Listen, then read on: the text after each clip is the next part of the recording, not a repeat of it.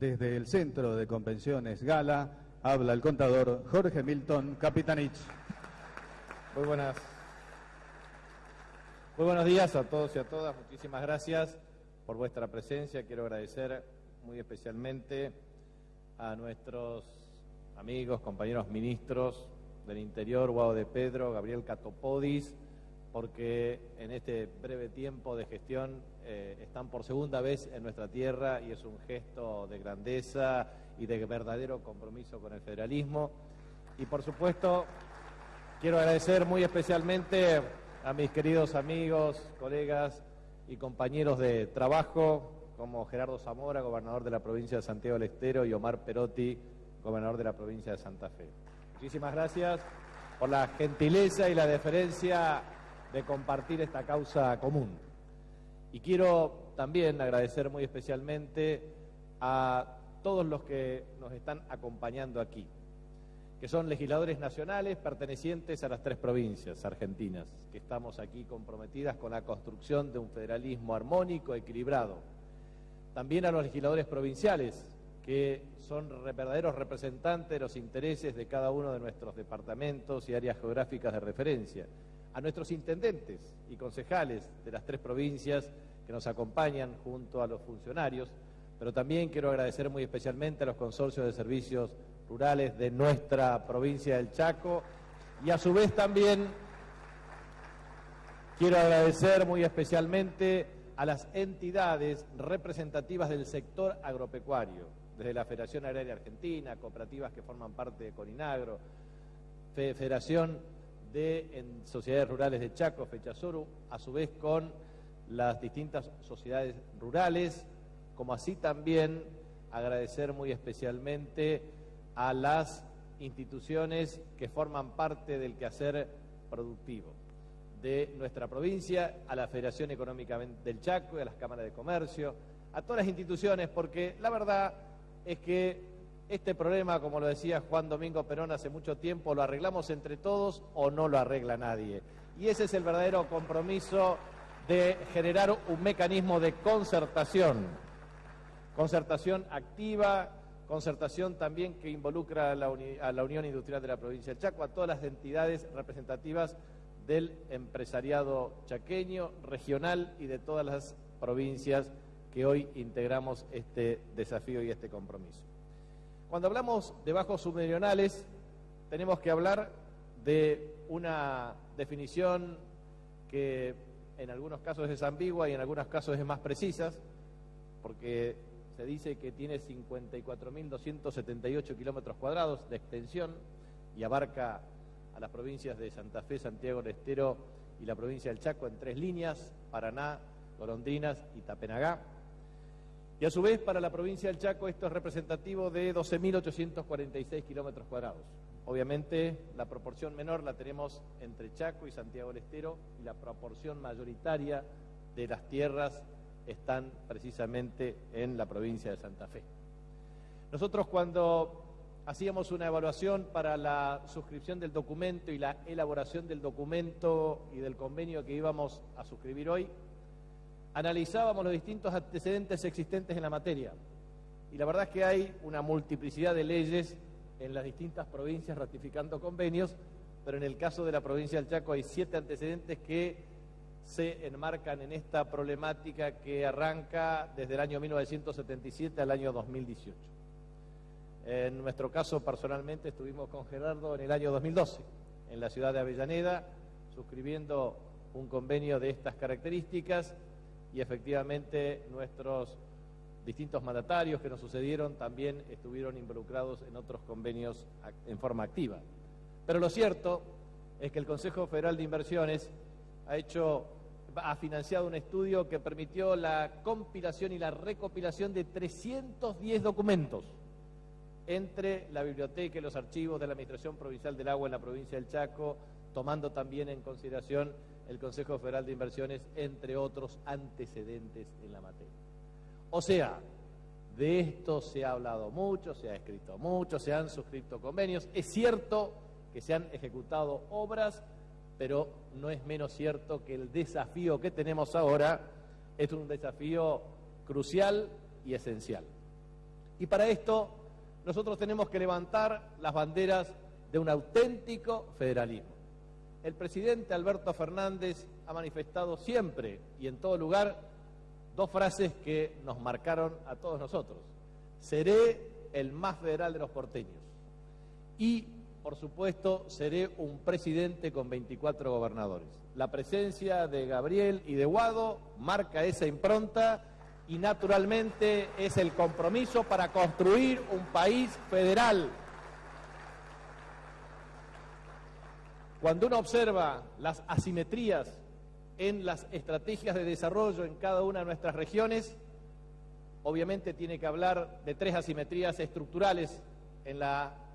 República Argentina. Asimetría en la distribución funcional del ingreso entre trabajadores y empresarios, asimetría en la distribución espacial del ingreso entre regiones y asimetrías intertemporal del ingreso entre niños, adolescentes y jóvenes y adultos mayores y jubilados. Obviamente, no poner una estrategia que nos permita resolver esas asimetrías de carácter estructural es las que nos empujan a una agudización de las contradicciones, de las grietas y obviamente de las capacidades de enfrentamiento más que de consenso en la República Argentina. Por eso aquí estamos discutiendo hoy una cuestión muy concreta y muy puntual. ¿Qué firmamos hoy? Primero, la ratificación de la voluntad de las provincias de Santiago del Estero y de la provincia del Chaco de promover la continuidad del Comité Interjurisdiccional de la Región Hídrica de los Bajos Submeridionales. Ese es el primer punto. El segundo punto, promover la ejecución de un plan director hídrico dentro del área delimitada de Bajos Submeridionales en la cuenca abarcativa de las tres provincias argentinas, con el objeto de lograr, primero, la planificación del manejo de la cuenca hídrica, el ordenamiento territorial, la sustentabilidad del territorio y los modelos de producción integrados que permitan reducir riesgos y aumentar la productividad en el sistema productivo integralmente concebido. Devolver a los bajos submeridionales las condiciones de sustentabilidad basados en planes, programas, proyectos de desarrollo, desarrollo de investigaciones científicas y tecnológicas interdisciplinarias destinados al aprovechamiento eficaz y eficiente de los recursos naturales con el objeto de resolver los problemas ambientales, difundiendo y publicando el resultado de las acciones, pero también promover planes de manejo de sus respectivas provincias, recuperando zonas degradadas, protegiendo humedales, y al mismo tiempo poner en marcha programas de desarrollo agrícola y ganadero de la mejor calidad en relación al ordenamiento de los bosques nativos, corredores biológicos y superficies de reforestación existentes. En este sentido, la voluntad de las provincias es incorporar de manera inmediata a las universidades nacionales de Santiago del Estero, del Litoral, de la Universidad Nacional del Nordeste y de la Universidad de Chaco Austral con el objeto de la formulación de planes, programas, proyectos y el plan director, con el objeto de que los mejores recursos humanos calificados con la experiencia, la formación y el expertise técnico lo puedan hacer de un modo ordenado, calificado, pero sobre todo con la participación académica de nuestros mejores recursos calificados. También este convenio establece un modelo integral de planificación del manejo de la cuenca, con modelación hidrológica actualizada, con mapa actualizado del riesgo de inundaciones, con captación de agua de lluvia para usos alternativos, de ejercicio de autoridad regulatoria respecto a la construcción asistemática de canales y manejos de aguas superficiales. Gran problema, porque obviamente bajo submeridionales el problema es excesos, déficit, anegamientos en forma sistemática y la anarquía constante por la ineficiencia en el ejercicio de la autoridad regulatoria. Si no hay autoridad regulatoria, hay construcción asistemática de canales y manejo de aguas superficiales. Drena lo más rápido cuando hay exceso, pero después lamentamos cuando efectivamente hay déficit. Y lo mismo cuando se ponen rutas, vías, etcétera, que entorpecen los niveles de drenaje en épocas de inundaciones también se convierten en problemas en épocas de de déficit. Entonces, el problema central es la adopción de una estrategia de carácter estructural como la regulación de la construcción de obras viales acorde a la planificación hídrica del sistema. Por eso, dentro de las prioridades hay un listado, no voy a mencionar a todas, pero el proyecto ejecutivo y la ejecución de la obra de la hidrovía Canal Interprovincial Santiago del Estero Santa Fe, proyectos ejecutivos y ejecución de defensa de localidades insertas en las áreas de bajos submeridionales como consecuencia de los excesos hídricos, la obra nueva del camino de vinculación de la ruta provincial número 30 de Santa Fe con el camino del límite Santa Fe-Chaco, el reacondicionamiento y reconstrucción de calzadas naturales y pavimentadas como la adecuación, reconstrucción y desobstrucción de alcantarillas de los caminos vecinales, rutas provinciales y nacionales, ferroviarias en los bajos submeridionales, el reacondicionamiento y reconstrucción de rutas provinciales de calzada natural adaptadas hidráulicamente al funcionamiento del sistema, la recuperación de la capacidad de la conducción de canales y alcantarillados, el sistema de línea Paraná, tramos 1, 2, 3 completo y 4 completo, la línea Golondrina, las 500, los algodonales, ruta provincial 286, interdistrito Santa Margarita, sistema Río Salado, en fin, una multiplicidad de obras, como así también acueductos para garantizar agua potable y red mínima de mediciones de niveles de agua superficiales, freáticos, de caudales, de precipitaciones, con el objeto de emplearlos para modelaciones hidrológicas, hidráulicas, para el diseño de los proyectos de obras y programas de acciones y también la delimitación física del territorio de lo que significa este Comité Interjurisdiccional de Bajos Submeridionales. O sea, realmente el desafío es muy importante, pero lo más importante también es que el convenio establece eh, que planes, programas y proyectos en el marco del plan director tiene que ver con la capacidad de acceso a fuentes de financiamiento. Guado daba una respuesta muy concreta, porque aquella decisión de pasar del 1,4 al 3,78% inicialmente de coparticipación a la Ciudad Autónoma de Buenos Aires privó a muchos argentinos, a muchos chaqueños, a muchos santafesinos y a muchos santiagueños muchas veces del plato de comida que le sobra a muchos que viven en el centralismo porteño. A veces nuestra disputa no es por un mejor bienestar, a veces nuestra disputa es por un plato de comida. Y hoy estamos en el mes de febrero. La cita con la historia dice que fue el preludio del Tratado del Pilar en 1820, cuando Estanislao López y Francisco Ramírez en la cañada de Cepeda se enfrentaron dando fin al directorio y empezó nuevamente un proceso de anarquía en la República Argentina, porque ahí dejó y desapareció el concepto de Provincias Unidas del Río de la Plata, que fue en el marco de la oposición de la Constitución Unitaria de 1819. Nuestras disputas por el federalismo arrancan desde la apropiación del excedente de la renta aduanera y de correos, de la libre navegabilidad de los ríos interiores, de la política exterior de la nación monopolizada por la provincia de Buenos Aires, no dando lugar a lo que nosotros necesitamos, que es reivindicar el federalismo. Por eso,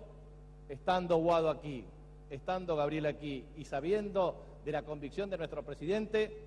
Vamos a construir federalismo con una hidrovía, con una participación activa en la regulación por parte de las provincias signatarias, dueño de los lechos de los ríos y a su vez de la capacidad de producción para tener un sistema de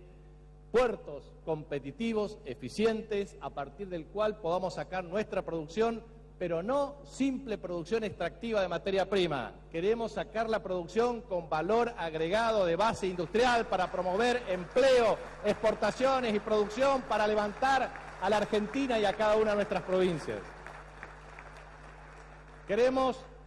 un federalismo de concertación y tenemos que empezar concertando entre las provincias. ¿Por qué nosotros no nos ponemos de acuerdo en la articulación de nuestros sistemas provinciales de salud para atender a nuestros enfermos de mayor cercanía. ¿Cómo no nos vamos a poner de acuerdo para priorizar obras estratégicas que garanticen desde la conectividad vial hasta la red de fibra óptica, como lo hicimos en Quimilí, con Santiago del Estero, con Misiones, con Formosa, y lo podemos hacer con cada uno de los gobernadores de las provincias del norte para unir el Atlántico y el Pacífico, para no pasar por las toninas y para tener una muestra clara de mayor autonomía de parte de nuestras provincias. ¿Cómo no vamos a ser capaces de recuperar la autopista fluvial de la hidrovía para nuestras provincias signatarias? ¿Cómo no vamos a ser capaces de establecer un mecanismo de inversión para la red vial de conectividad de las provincias, para autovías que permitan más seguridad vial? ¿Cómo no vamos a ser capaces de terminar con la interconexión de alta, media y baja tensión de un sistema energético? ¿Cómo no vamos a ser capaces de promover incentivos para la producción de energías renovables a través de la producción de bioetanol, de biogás, de biodiesel, a través de la producción de nuestros propios productos para abaratar los costos que significan valor agregado en origen de base industrial? ¿Cómo no vamos a ser capaces de generar un sistema educativo que promueva nuestra identidad, pero que desarrolle artes, oficios, salida laboral, desarrollo científico y tecnológico para generar más valor agregado. Como nuestras provincias, que tenemos una matriz productiva diversificada, que tenemos agricultura, que tenemos ganadería, que tenemos desarrollo forestal, que podemos tener investigación científica y tecnológica, que tenemos universidades nacionales, que tenemos la riqueza de nuestros suelos y también la riqueza más importante, que son nuestros recursos humanos, con el afán de trabajo y con igualdad de oportunidades que reclamamos históricamente para nosotros. 210 años de historia, de asimetrías, 210 años de avasallamiento del centralismo, implica claramente una visión de rezago y a veces nos vienen con esa mirada centralista que es precisamente de muchos medios de comunicación de base hegemónica, que nosotros solamente aparecemos en las noticias por las malas noticias, pero no por las buenas noticias de la gente trabajadora que se levanta todos los días a la mañana y que produce para que otros argentinos consuman los alimentos que producimos nosotros en nuestros campos y en nuestras chacras y en nuestras fábricas. Por eso nos parece muy importante estar hoy aquí pero no solamente nos va a unir a nosotros, nación y provincias, para construir un federalismo solamente con la regulación de este comité interjurisdiccional, porque dijimos y nos comprometimos aquí que participen técnicos, científicos y miembros de nuestras universidades, pero también que el Consejo de Gobierno se reúna cada bimestre en forma rotativa en cada una de las sedes para hacer un seguimiento plan por plan, programa por programa, proyecto por proyecto, peso por peso, rendición por rendición, para ver que lo que estamos firmando se ejecuta. Y también le decimos, y decimos aquí en voz alta, necesitamos recuperar la Comisión Regional del Bermejo con sentido federal. ¿Cómo no puede ser que en la Argentina no tengamos esa capacidad de utilizar nuestra verdadera autopista fluvial, que son no solamente la hidrovía Paraná-Paraguay, sino integrar los ríos Pilcomayo, Bermejo, Salado, tanta, eh, la cuenca del Plata, 3.170.000 kilómetros cuadrados, la cuenca del Paraná, 1.200.000 kilómetros cuadrados. ¿Cómo no vamos a utilizar la integración de la comunicación vial? Por eso, en la comunicación vial, la reivindicación aquí es recuperar la Ruta 95 que ha sido fuertemente dañada por las inundaciones del primer semestre del año 2019. ¿Cómo no vamos a recuperar el puente Bailey y lo que significa la recuperación de parte de la Ruta 89 que nos conecta con Santiago del Estero? ¿Cómo no vamos a ser capaces de identificar estos proyectos, tanto por el Fondo Fiduciario Hídrico, por el Fondo Fiduciario de Infraestructura Regional, por los parte de los organismos multilaterales de crédito, para tener mejor y más conectividad vial?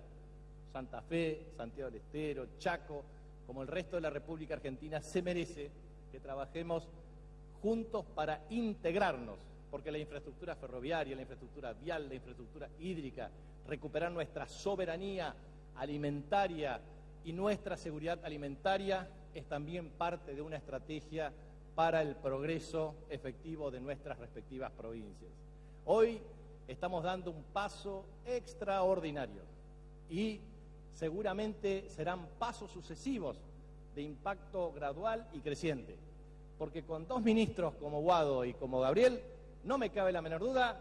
que las banderas del federalismo estarán encendidas cada día en sus respectivos despachos. Y no me cabe la menor duda que con Alberto Fernández como presidente, como Cristina Fernández como vicepresidente de la República Argentina, tendremos no solamente defensores del concepto de integración y desarrollo federal, sino también que tenemos que entender el federalismo desde una perspectiva geopolítica de base regional. Cuando compartimos recursos naturales de carácter estratégico en Sudamérica, en Mercosur y en las áreas limítrofes, tenemos que integrarnos con Uruguay, con Paraguay, con Bolivia y con todos los países de la región, porque somos signatarios de recursos naturales de carácter estratégico, porque somos signatarios de un acuífero extraordinario, y digo Brasil porque me había omitido, Paraguay, Uruguay, Brasil, Bolivia, el acuífero guaraní, la reserva estratégica de agua dulce más importante del planeta, el hinterland, no solamente portuario, sino también el hinterland de desarrollo que tenemos a través de nuestros recursos naturales de carácter estratégico. Muchas veces nosotros sentimos la frustración de decir las oportunidades que perdemos, de decir lo que deberíamos hacer y no hacemos. Y hoy no podemos perder más tiempo. El reciente documento de Naciones Unidas indica que las desigualdades se profundizan. Premercado, dentro del mercado y posmercado. Premercado